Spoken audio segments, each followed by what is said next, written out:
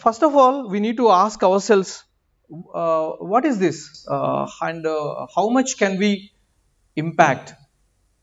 No, first of all, we need to understand to answer that question. When we say mission, whose mission is that? Is it an individual's or churches or, uh, or the world's or God's? No, the answer is crystal clear. It is God who wanted or who wants to seek the lost, to save and seek the lost. That's what we see uh, in the gospel, how Jesus was uh, introduced. Son of Man came to seek and save the lost. So now, when we say missions, uh, this is uh, from uh, Lausanne uh, Covenant uh, Convention. Basically, from there, uh, this emerged.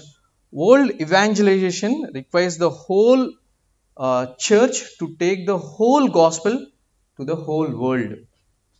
You know, uh, uh, this is by uh, Billy Graham and uh, some of the eminent evangelical group when they met in uh, and how they have put it up here. This statement: World evangelization requires the whole church, not just one denomination or even in one denomination, one particular church moving.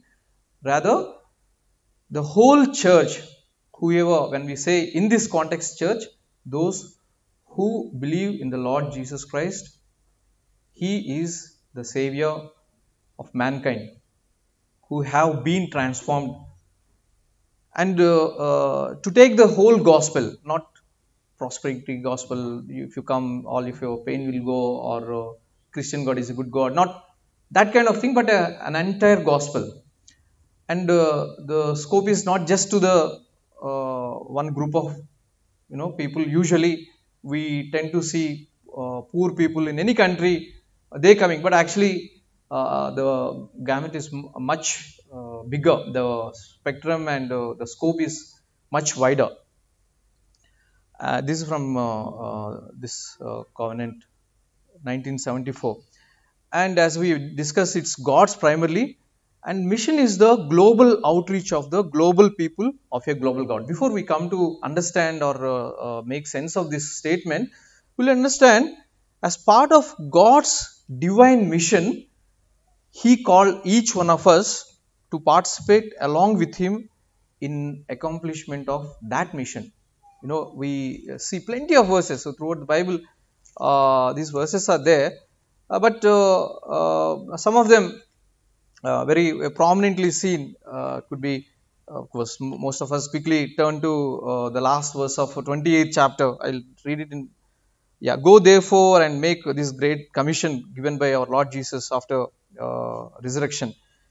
Uh, go therefore and make disciples of all nations baptizing them and then uh, uh, baptizing in the name of father and of the son and of the holy spirit teaching them to observe all that i have commanded to you and uh, uh, also in the book of ephesians uh, paul writes this you know what is our purpose when god has already finished? We are working from the position of uh, redemption or finished work on the cross. He says here in the 10th verse of uh, second chapter the letter to ephesians for we are his workmanship created in christ jesus for good works which god prepared beforehand that we should walk in them.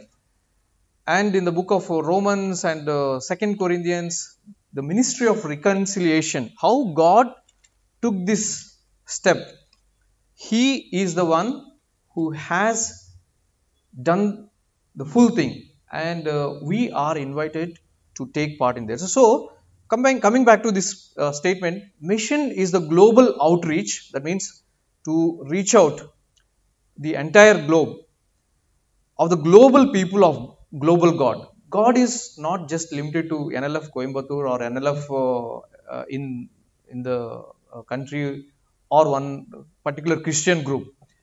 The lord god creator is god of each and every person. That is the mindset we we need to uh, develop uh, my uh, problem with uh, people who are strong calvinistic they say that person he's not chosen you see and we quickly jump into conclusion and say no point of telling that. But the worst, you know, the, that's how Paul introduces himself. One of the uh, worst sinners, he says God has chosen him for his work.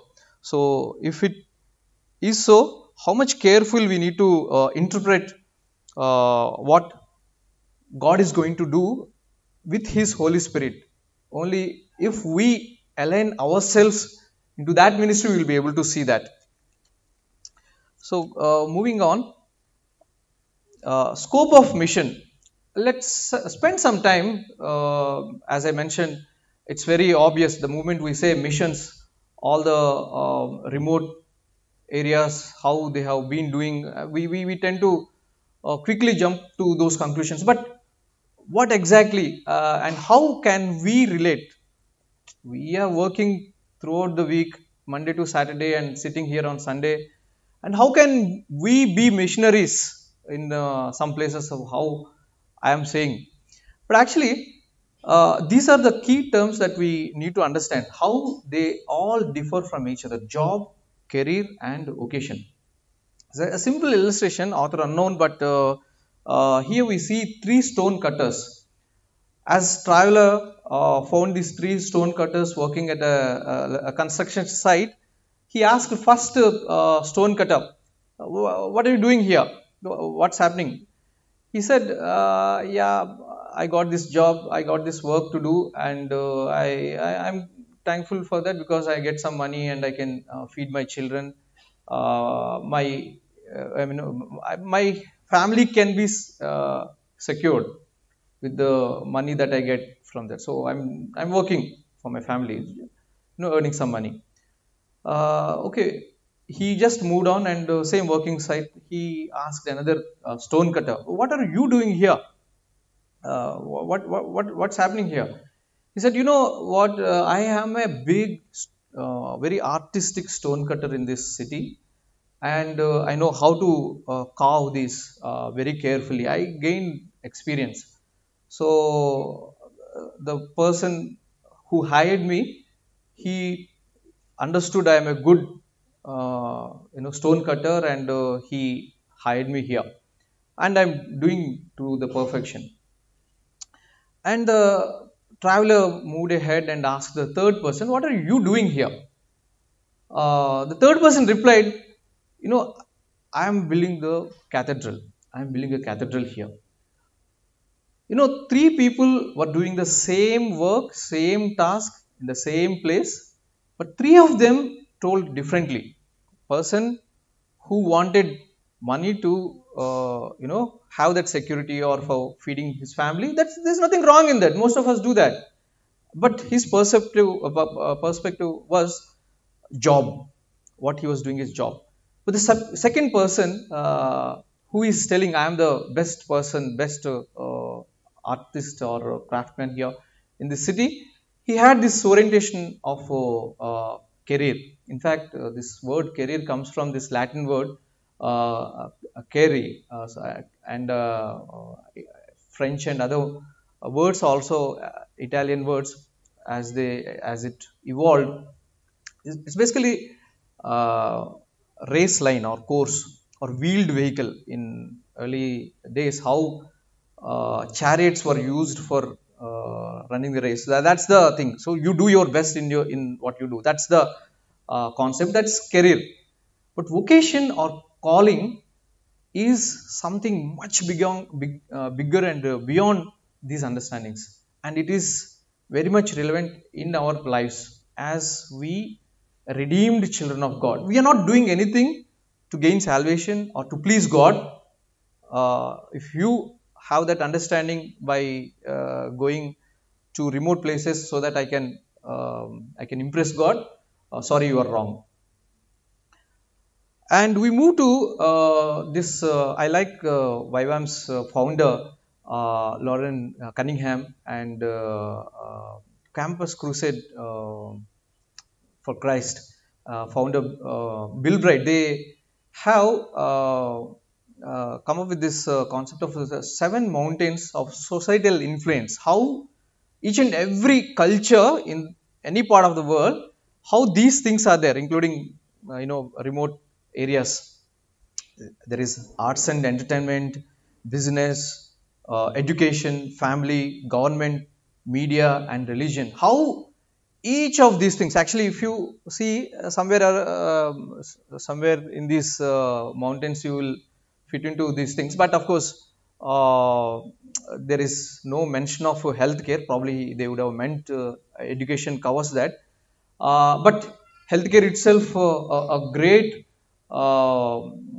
you know uh, phenomenal movement has happened especially in india and uh, other uh, countries. How missionaries chose to start mission hospitals uh, creating the culture of caring for the poor for the uh, widowed uh, women and also uh, uh, you know caring for the persons with the tuberculosis uh, uh, you know uh, buildings uh, sanatorium for them and also uh, people with uh, leprosy how they were taken care of. So what they say each and every part of that of course a few months back we had our friends uh, went to uh, attend how media can uh, be utilized uh, you know to bring the gospel to the uh, uh, you know lost. So uh, yes coming back to the last week's uh, happenings. As i was uh, preparing as i started preparing i just uh, uh, prayed and uh, I, I, as i was seeing i came across this uh, couple of things that really disturbed me. Uh, one was last sunday exactly as we were having uh, prayer time here in delhi one of the churches was attacked by hindu people. That was the uh, disturbing news and another uh, you know uh, news that made all indians uh, happy was chandrayaan 3 launching.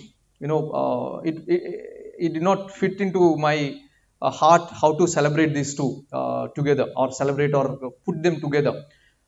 News as much as we see you know most of the times they are depressing and but we need to be aware of what's happening so that you can be relevant to the context I was also fascinated by uh, India's mission because India is the uh, fourth country to uh, put its flag on the uh, surface of the moon. Uh, but if you just go back and see how people who uh, know the Lord, they used their talents or they, their abilities, the, their opportunities to to bring that glory to God. Uh, there are a couple of people who actually walked on the surface of moon uh, in 1969, 71, 72. Uh, a lot of missions happened from US and you, you, you see um Apollo 15 and Apollo 16. Uh, James Irwin is from Apollo 15 mission and uh, Charlie Duke from uh, 17. I'd like to read some of the uh, things that they have mentioned Okay, James Irwin uh, spent the next 20 years after he finished his uh, trip to moon. Uh, he spent his rest of the life as goodwill ambassador for the Prince of Peace, stating that Jesus walking on the earth is more important than man walking on the moon. He said that his experiences in space had made God more real to him than before. Irwin and his wife uh, stated that his Christian rebirth or born again experience, which happened uh, while he was in space, saved their marriage and made their lives uh, much happier and established, and how they have uh, gone on to uh, minister. And about uh, Charlie Duke, you can Google or see a lot of videos about him, how he publicly confesses his faith.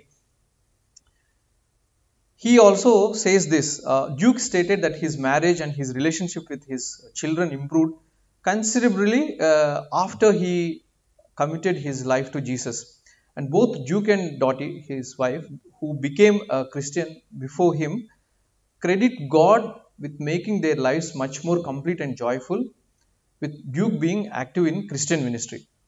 So, uh, what I'm stating here is how using various opportunities uh, or positions that they held, they did not see it as an accidental thing. They understood God has given that experience, God has placed them in that particular position uh, just like how we see in the book of Esther, how she utilized her position to save the nation of Israel. And basically, acting as the ambassadors of the living God. Would like to play this video. I'm not sure audio will come. Uh, yeah, this is uh, Charlie Duke. Uh, a few words. So these just a few words. Hardly this is 30 second video. The walk on the moon did not change my life, but the walk with Jesus entirely changed my life.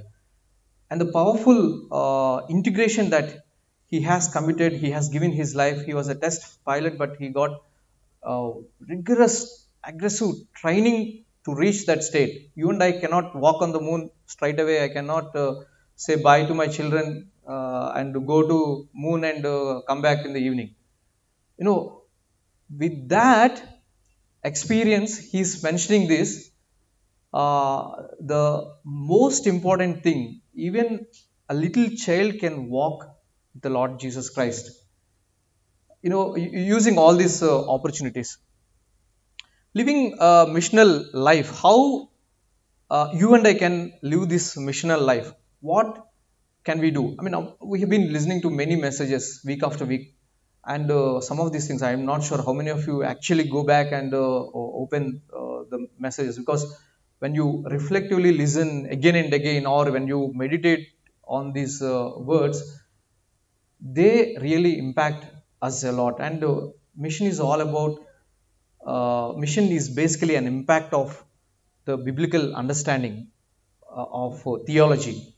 And uh, that theology should be the foundation for what uh, for our mission that we engage in, be it uh, uh, involving in you know counseling or ministering the youth or you know involving in church activities or whatever the mission. And uh, we know from the book of ephesians. Fivefold ministry is there but uh, there are plenty varieties of uh, ministries or missions. You know i thought okay it, i was thinking to have an understanding how many types of missions can be there.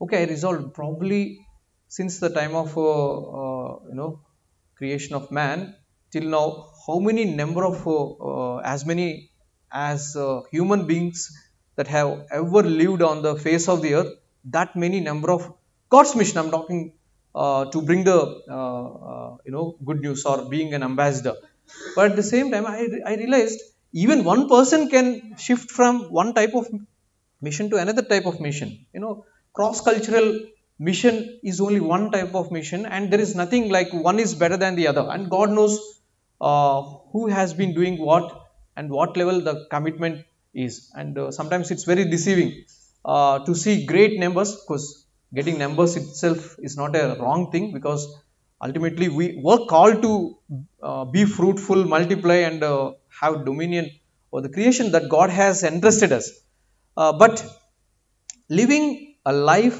worthy of our calling being set apart never compromising on the aspect of a personal walk with the lord walking in integrity that sense of uh, uh, you know uh, i do not belong to this world. I do not at the same time god has given a mission in this world to reach out the lost. Because somebody has reached out to me uh, with his spirit now i am available to the lord. So uh, in fact none of us can uh, say that oh brother that is uh, somebody else's job to go uh, and do the mission work. No you are a uh, you are in a wrong understanding. The moment you accept the Lord Jesus Christ as your Savior and uh, uh, become a born again believer, each and every one of us have been given uh, uh this mission to reach out those who are lost. And persecution will be there. It's not a new thing. It's not uh, something just happened. And uh, that post of that video quite disturbing for me uh, because people entering with the sticks with masked faces hitting everybody chasing the children and women out of the uh, house church. Quite disturbing. Not just that a list of things uh, persecution relief actually uh, puts up into a prayer uh, diary, uh, as you read through how a lot of um, uh, you know a lot of attacks happen on the Christianity, but in the midst of all these things, what I'm trying to say is to have the sense that I have been called by the Lord Jesus Christ, and if this is the tr- uh, truth, then it is really worth dying for this truth. And when you get that kind of uh, conviction, nobody can actually stop you. You will be a blessing to your family, your uh, uh, church, or uh, place wherever you are working. God has placed you. So if everybody goes to, uh, you know, to the resource pool setting, who will be there in the corporate setups? Who will be there in the business field? Who will be there in the uh, educational institutions in Coimbatore or uh, all the software or uh, where social media is actively, you know, Uh, spewing all kinds of uh, uh, false things. You know, now everything is dying is done outrightly. Like uh, uh, you can google and somebody is telling uh, how to commit suicide or how to involve in such and such things. I think dr matthew was mentioning. So many things are happening. Unless we who know the full whole truth who will be there in those areas? So all that stems out from you being living uh, being in a condition uh, that uh, uh you set up apart yourself for the lord and uh, living this life worthy of his calling and willing to be transformed every day and uh, no compromise on uh, spiritual disciplines. Spending time with the Lord uh, sequentially or synchronously. Uh, sequentially, I mean to say, first thing in the morning, do it, or uh, if you are a person who thinks um, the uh, just before bed, I will be quite any part of the time, but that can happen, or even synchronously as you move towards your car, or as you drive, or as you uh, if you're a, in a medical field, before you see the next patient, as you walk from uh, one room to one room, you know, you get a lot of uh, opportunities where you can pray short prayers. I thank Pastor Wilson. He sent some of these prayer points as current context how it's happening. And it's like you, you don't have to see the newspaper or uh, news and uh, you don't have to get depressed seeing all the depressive news. When you convert the context using the text into a prayer request, uh, your life will be very effective. And at the same time to nurture, to foster our own uh, uh spiritual walk with the Lord with all the uh, spiritual disciplines. It includes everything fasting or uh, uh, fellowshipping or you know Bible Bible reading. That includes reading, studying, meditating, memorizing, or more importantly apply, applying all the biblical principles and also i'll just move on being mentoring mentored or uh, mentoring uh, those who need it and i just quickly move to uh, a couple of examples uh, uh, don and uh, carol richardson they are actually um, missionaries to this place called uh, Irin Jaya, Iriana Jaya in uh, uh, New Papua Guinea. Um, they were actually Canadian min, uh, missionaries. Uh, sorry for telling uh, a cross-cultural ministry, but in the context of this one month, I think it's good to see some of these dramatical things to influence us and at the same time to be challenged. There are still people, brothers and sisters, please wake up and understand that uh, around 2 or 3 percent of the persons, the so-called uh, Christians in the country. But uh, if you see the believers, the numbers will be even more lesser. Of course, some may say uh, Christians number may be higher than what it is now, uh, but the fact remains the same. It is still a lot. We need to reach out to those who never heard the gospel of Christ. Yes, in this context, I would like to uh, just throw some light on uh, this mean, uh, uh missionary couple, uh, Don Richardson and uh, Carol Richardson, his wife. They were, of course, missionaries, and they most of them they were trained in medical aspects also. In 1962, they moved to this place in Papua New Guinea. It is among the Sawi uh, tribe, these tribe, tribe people are very notorious for their uh, uh, belief system and uh, their treachery. You know, uh, in any uh, human race, if you tell treachery is wrong or betraying or killing is wrong, they will understand quickly. Oh yes, uh, I understand, or they show those manifestations. But this tribe takes pride or they honor this treachery. So whenever somebody befriend or uh, betray or kill, basically these are cannibalistic so they uh, it's a good uh, meal also when they kill other person they they get a good meal uh, you know no need to hunt a running deer. So that's how they see it as killing another person that too betraying or befriending them is a great thing among these tribal people. So that's the context where this particular couple uh, has gone to. And uh, after uh, working for a few weeks, of course, they were uh, helping out in uh, some of the medical aspects and also probably some education. They were trying to, you know, incorporate some of the biblical uh, teachings also. When they told about Jesus Christ, how he was uh, betrayed by his own uh, companion, they were celebrating Judas Iscariot instead of understanding Jesus is the one who uh, became uh, the person who was deceived or you know oh wow they are all praising Judas Iscariot because that's the culture they were living in uh, so they were very depressed what's happening and uh, this tribe cannot be changed or they cannot be introduced about Christ and better before we spread false doctrine in their terms uh, let us move out. Probably that's what they would have thought. But uh, they mentioned this to the village leaders, and two villages are there in this uh, uh, uh, tribal community. One was uh, Hamena, and another was uh, Kamur. So Hanam, Hanam and Kamur. So these are neighboring cities. I just read it out. They were constantly warring against each other. And after several months, these Richard, uh, Richardsons were not able to convince these uh, two settlements between uh, these two villages. And they announced they would have to move elsewhere to minister. Uh, the Sawi, not will, uh, wanting to lose the benefits to be gained by having Westerners living among them, suddenly declared that uh, they were going to make peace with each other. Wow, this is brilliant. Now, how they can make peace with each other? The Richardsons uh, wondered how such peace could possibly be established given the long history of hatred, treachery, and distrust that existed between the villages. So, now I'll just read out this story.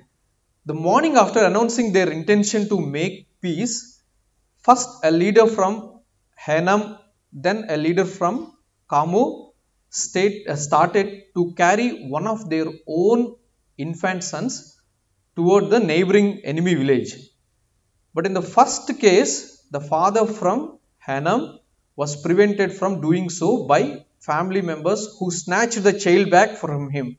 And in the second instance, the Kamur father, obviously distraught, changed his mind and turned back to his own village.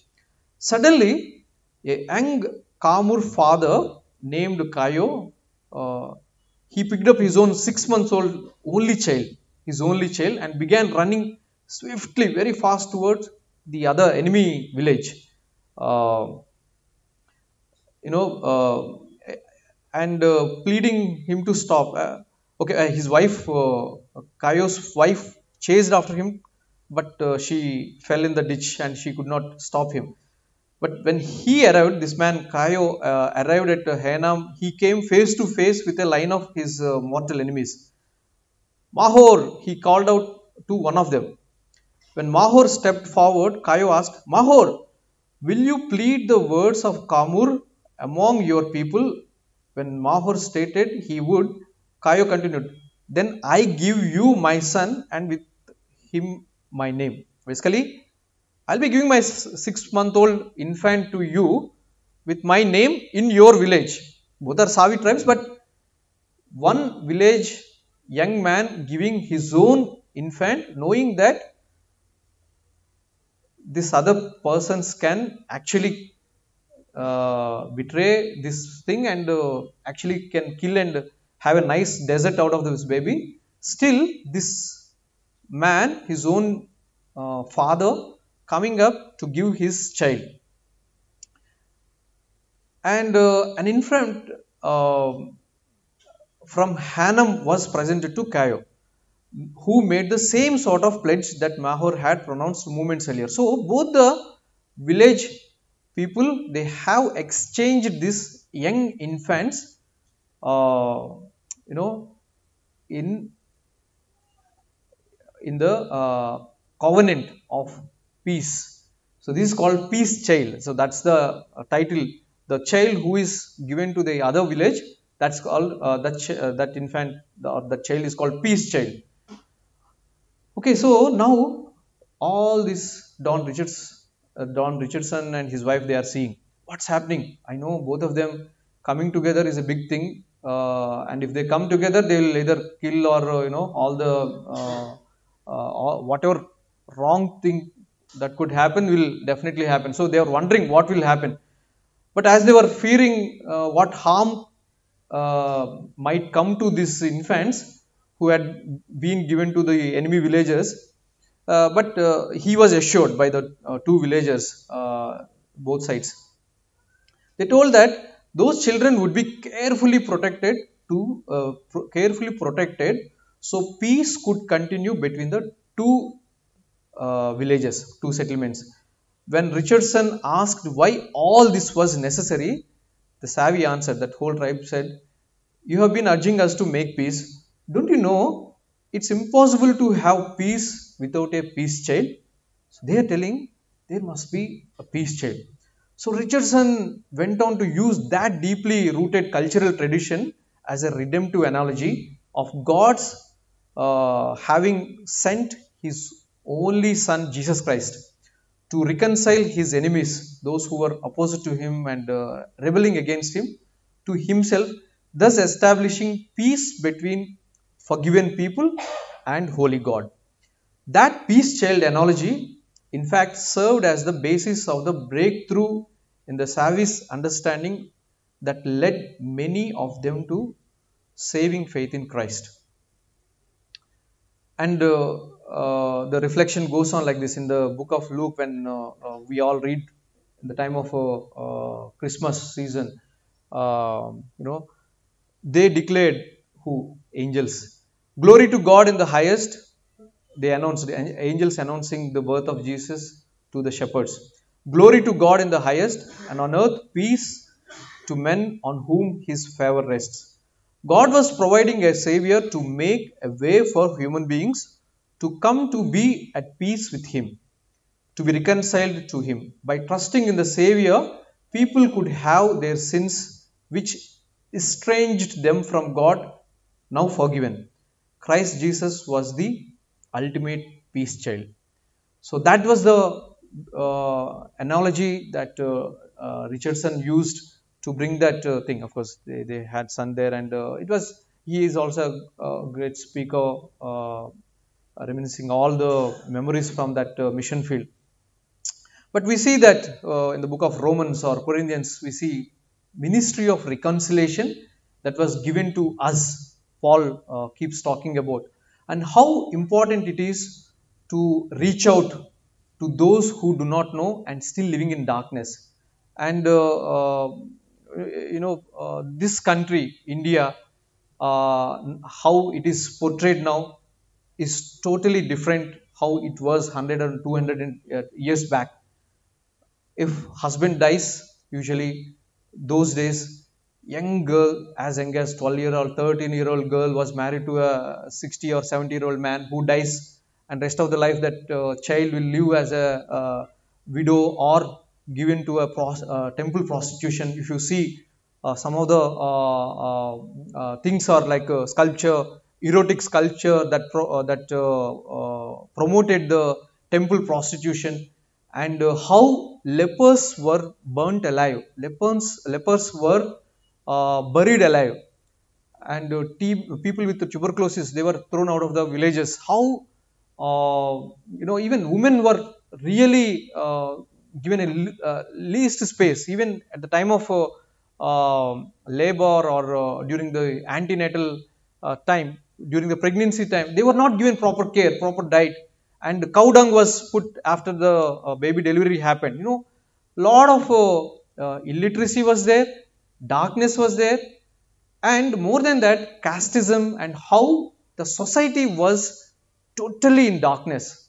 More, more or less, most of the country, north or south, any part of the country was totally in darkness. And there comes the missionaries, how they have uh, some of the missionaries really uh, amazing. Now we we uh, sometimes uh, grumble about our travel.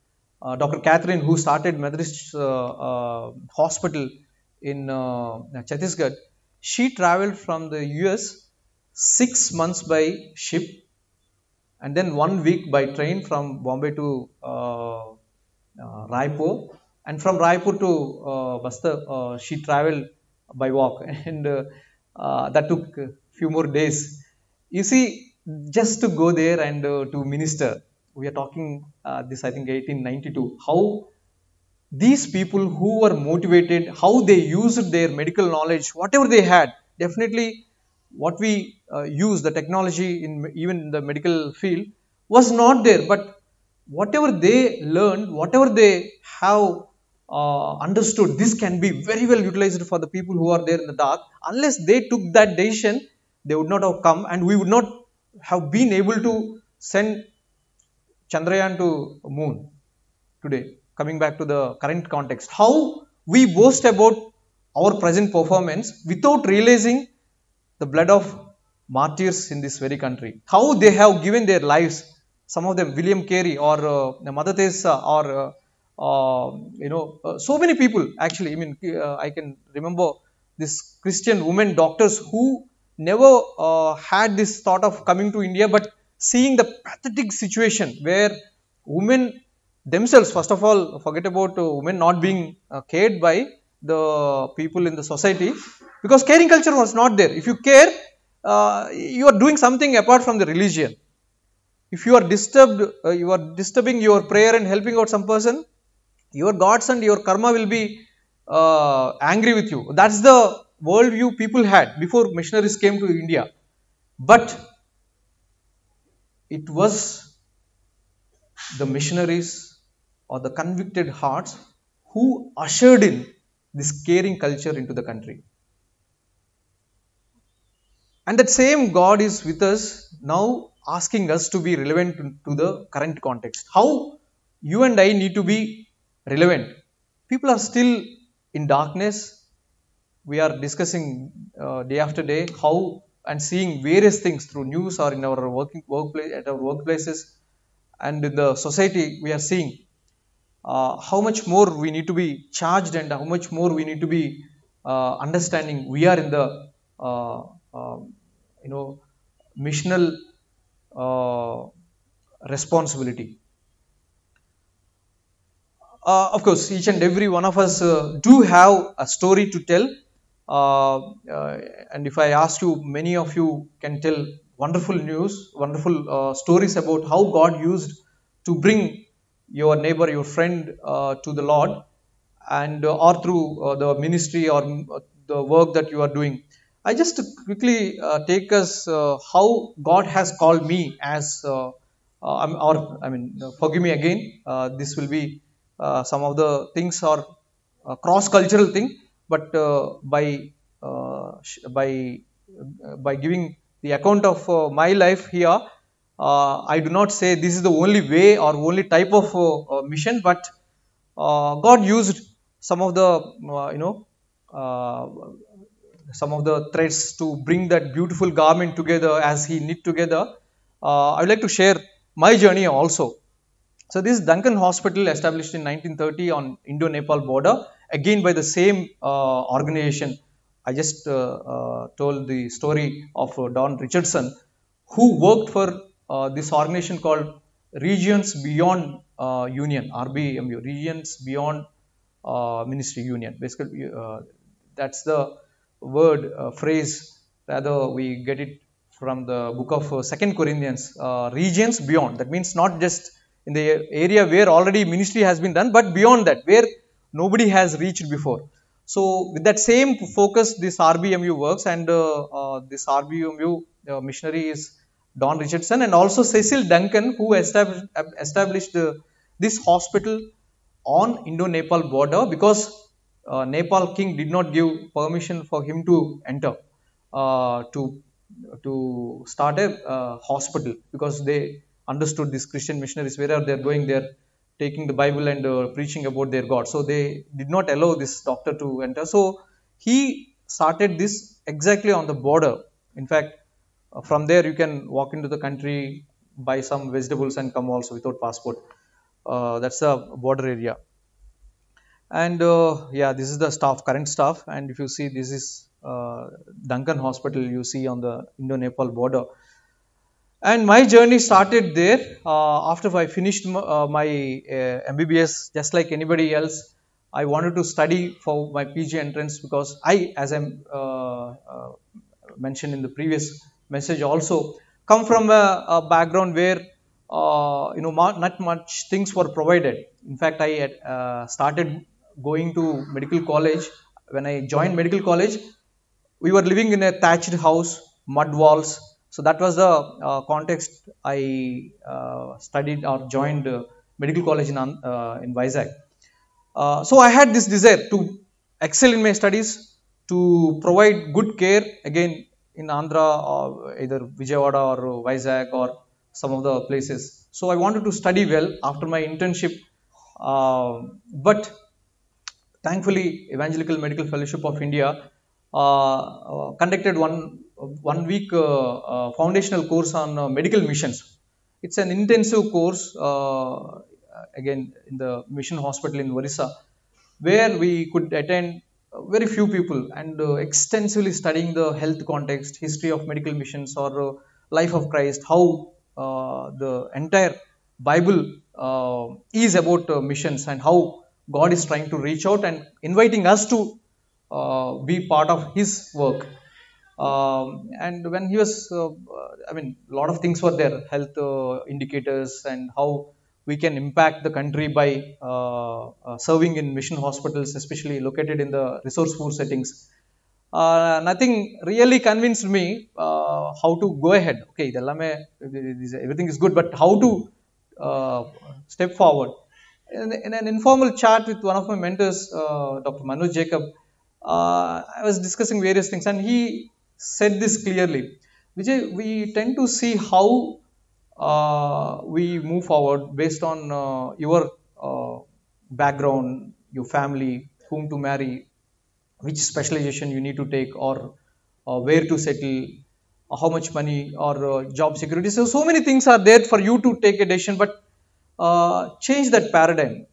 You know, see God's big picture and then with the resources or with the training that you have received how you can uh, you know put yourself into that big picture? Like just like a, a big uh, jigsaw uh, jigsaw puzzle where each piece has its own role. So that's how i was challenged. So uh, i immediately uh, uh, you know requested my father to book the tickets to Raxaul. My father didn't have a clue that which state that uh, place called Raxaul is in, but thankfully he did it and he wanted to ensure that I was safe. So he also traveled along with me. And uh, traveling to Raxaul itself is altogether a different uh, thing. They don't believe in reservation concept. At least uh, 10, 15 years back, Uh, even if you uh, book a berth, you are a human being. I am a human being. Let me also sit in the sleeper class, whatever. So. Uh, so I mean, the moment you step into that place, you really like it because people are so lovely, not what we think.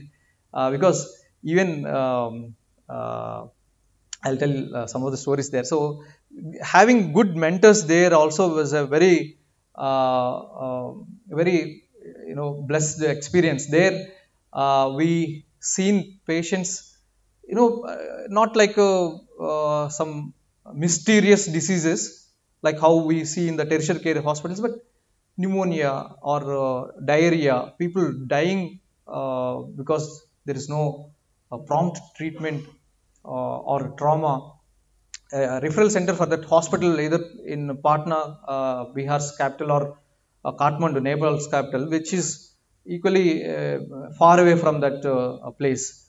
So this hospital has been doing a great work, and its team of doctors who committed, most of them are from either from CMC Vellore or CMC Ludhiana, or some of them they come there for uh, uh, exposure. Uh, but praise God for this experience as a junior doctor. And uh, later been also joined after completing uh, post graduation and we invite newcomers there. Uh, this is some of the life there you know traveling around eating everywhere. And uh, uh, there after completing two years of my work i, I felt like uh, i need to you know spend some time with the missionaries there i took, applied for annual leave for one month and i stayed uh, even remote village, one of the villages, uh, it's called Singasni, 20 kilometers away from that hospital. I stayed with the IEM uh, missionary there uh, for one month. no place properly even to lie down or sit, and I was used to that. So it was not a big deal for me.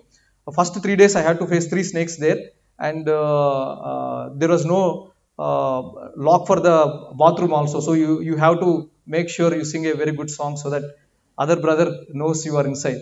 So, uh, yeah, uh, this right person, the right side person is uh, Mr. Andrew uh, from IEM, again from Tamil Nadu.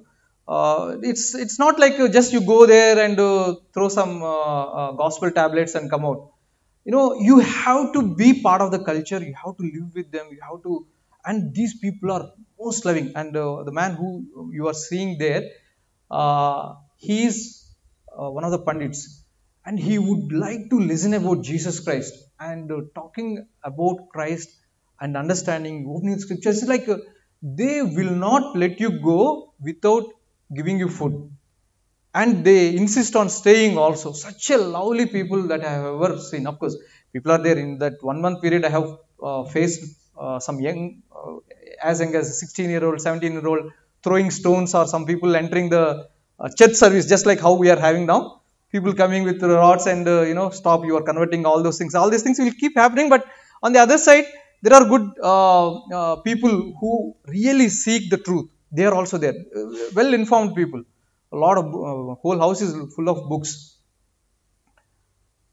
okay this is some of the uh, lifestyle there that's a mode of transport there dr matthew george i think some of you know he's one of our mentors and the team was really motivated, uh, Dr. Philip and uh, Dr. Ligia, and uh, good friends were there. We did enjoy, you know, World Cup matches and you know, good fellowship. We used to meet, food and fellowshipping, praying together, sharing all of our burdens. there was one time I was very depressed because uh, night duty was uh, extremely busy. Some four five cesarean sections I was doing in the operation theater, and one woman uh, uh, was there waiting for her uh, lab room bed, but she could not get it, and the baby became very sick. And on my mind, I was thinking, okay, I, duty means it was around 36 hours. Most of the time, lunch was at 4, 4 p.m. in the afternoon, and uh, dinners could be as early as 2 a.m. So that's how lifestyle was. Uh, but uh, when when a woman uh, came for the delivery, uh, baby, uh, you know, somehow missed out in the labor room from, from nursing side. But I was stuck in the operation theater. The next day, I was very depressed, and I wanted to pack and come to come back to because I was not able to cope up that and plenty of uh, uh, resuscitations, emergencies, all these things happen. You being a, a, single junior doctor, managing many things was very difficult. But during those times, these are the mentors who knew the Lord, who have gone through the similar situations. They have invited, even if it is, it was 11 p.m. or a cup of coffee and praying, listening to our stories.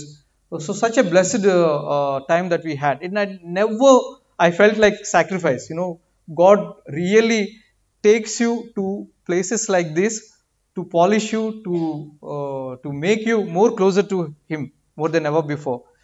And thank God for all these things. And this is the place where I have uh, stayed. I was telling uh, one month period uh, with uh, Brother Andrew. And yeah, So, as I mentioned, this is one uh, leprosy center started again by Christian missionaries, and uh, how uh, they were a great blessing for the local community there. And they don't do it to really, you know, somehow instill the, you know, conversion and all. They do because they understood the concept of, you know, thy kingdom come on earth, where sickness is addressed well, healing is reached to the uh, people who need it the most.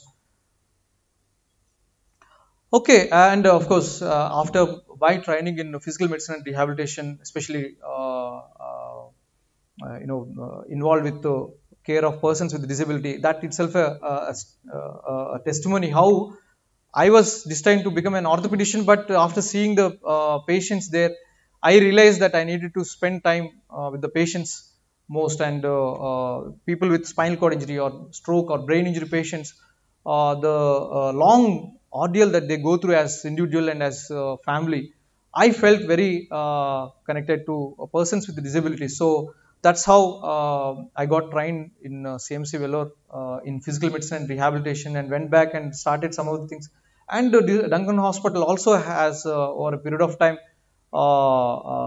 you know grown up uh, has a uh, school of nursing and a lot of community projects reaching out persons with uh, uh drug um, abusers iv uh, or uh, even among those commercial sex workers or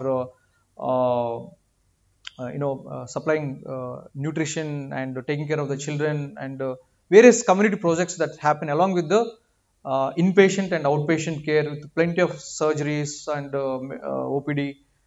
Everything happens now. It's all advanced uh, thing also came, uh, including CT scan for which actually wife and I we came down to south to get trained in radiology so that we can go back and be part of the um, work ministry that's going on. And some of these things really I really thank God uh, for the opportunities. Uh, we go once or twice in a week uh, to tell about Jesus to the patients who are uh, oppressed, who are really going through a difficult situation, introduce about Christ. This is the nursing station, and uh, some of the, uh, I mean, most of them, if you see, they are there only to do the work of God. Very menial, you know, salaries, but expenses also Uh, will be less there because you don't have to have a car or uh, uh, so many things are not required there. It's a uh, very good campus to live in with uh, less thing, less resources in, as such. But good opportunities, projecting gospel movies or sharing tracks or counseling and spending time. There is a dedicated counseling center where people are prayed for. A lot of things is happening there. I would like to share about uh, this gentleman, Mr. Raju Sahni. He worked here in Erode, one of the uh, garment shop. His job was to filter out which is uh, good one and uh, which is not good garment for uh, you know uh, exporting. So he, on his way to buy his wedding suit, his wedding got fixed, and he, he went back to his place, uh, Raxaul. He's from Raxaul, native of Raxaul. So he met with an accident on the way to buy his wedding suit and uh, he injured his spinal cord and he became paraplegic.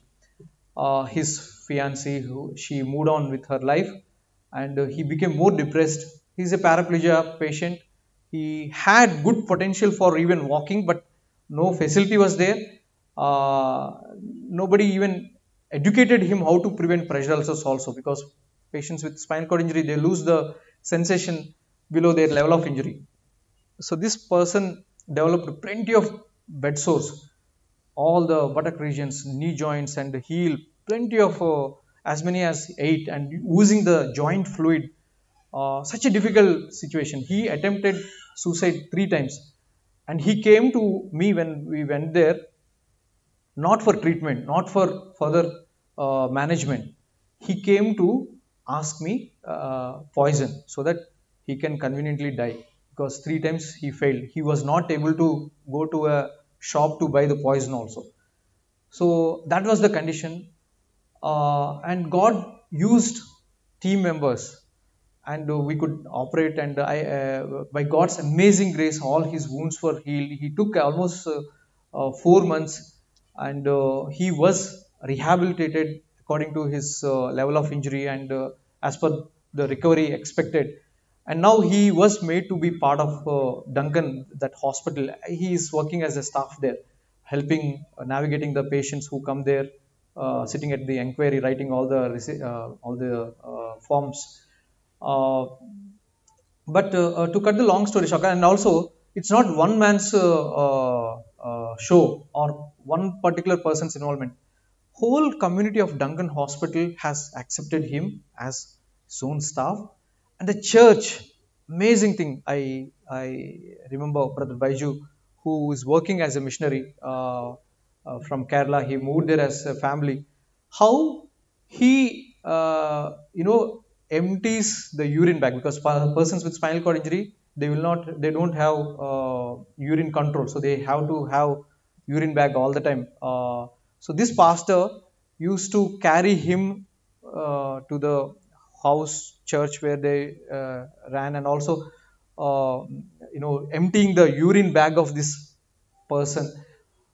You know plenty of people uh, have come together uh, to help him to know his creator. And now he is a very good believer baptized and uh, he is living for the lord in various ways. He in fact uh, you know came up with one video documentary also how uh, you know how a person who knows the lord can make an impact so uh, so uh, i can share his story here without his consent because his dre- desire is to tell the world how god saved him God given the opportunity. So just uh, uh, encourage. It doesn't just happen at a snap of a finger, but it takes a lot of prayer, our efforts, our expertise. Uh, uses God uses His church, bringing people together, and all that we do is not changing uh, his culture or not changing the way he dresses up or uh, um, external things, but inside his heart, he knows now his creator and he's really uh, serving the Lord with his heart. Okay, coming to the summary, what we have seen, biblical basis of missions, it all starts from the heart of God, uh, not a great idea of uh, an individual or a church. Uh, rather, it is His mission, and we have been invited to take part, and uh, it's a great privilege for us to be in that position. And scope of missions, we have plenty of opportunities. In fact, where you are, you are a missionary there, and you can do wonders for the Lord with His Spirit, with His help, if you are sensitive to His word, what He is to say to you.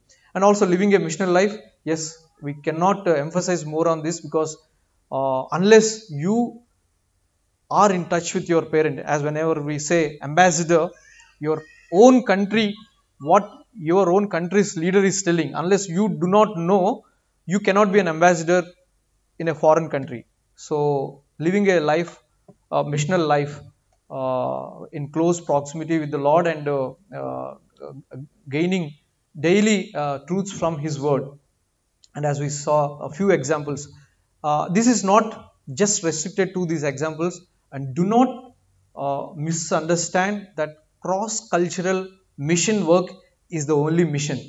Wherever God has placed, it is all equal. And I really thank God for the example our uh, church has put it up and uh, involving in our own business, involving our own uh, healthcare, how we can, uh, you know, effectively reach out to the people who are uh, at the verge of, uh, you know, um, destroying their lives.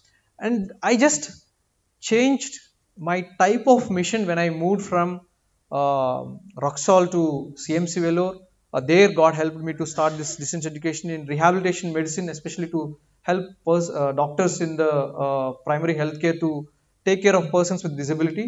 And my mission from CMC Vellore, when I moved as a family, uh, uh, when we moved as a family to Coimbatore, it has changed into, you know, being a missionary in the corporate setup. You know, we keep changing our phases, but everything, anything, if we have the right perspective, we are uh, missionaries in the sight of God. I would like all of us to close our eyes and as we take one or two uh, minutes, uh, just think about what God has called me and how much uh, missional mindedness I am having in my uh, at my workplace or in the family, just as we have seen in the uh, seven mountains of uh, influence, how each and everything of every mountain of that can influence me, where that in, intersects with my life, and have I missed any opportunity, or is God asking me to be missionary in one particular context?